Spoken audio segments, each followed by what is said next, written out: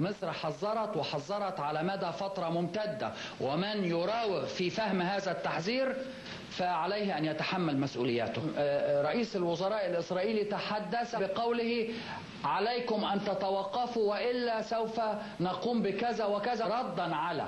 ما هو الرد؟ ردا على عدم تجديد التهدئة. إطلاق الصواريخ. ليلة حضور أه، ليفني إلى مصر أطلق 60 صاروخ.